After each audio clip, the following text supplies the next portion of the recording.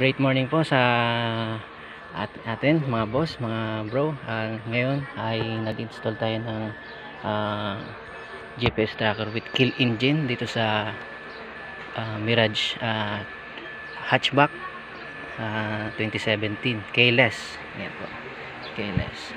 So, ngayon po i-start natin. Start natin.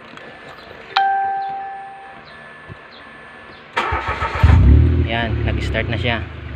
So, yung kill engine niya ay nationwide to at walang range. So, kapag tinext natin yung ah, command ng 555 sir, yan. Yung ah, makina, cut off po yan lahat. Yan. Patay po yan siya. Yun. 666. Yan. Yan, wala na po siya. Hindi na pa yan mapapastart. Yan, hindi na po siya mapapastart. So, pakibalik sir yung 666 sir.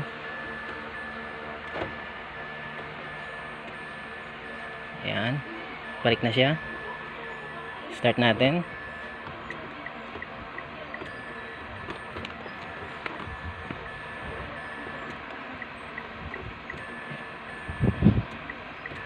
Okay.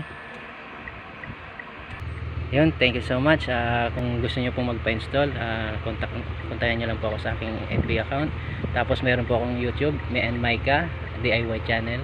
Ma paki-like, subscribe na rin po. Ah, maraming maraming salamat po. God bless po.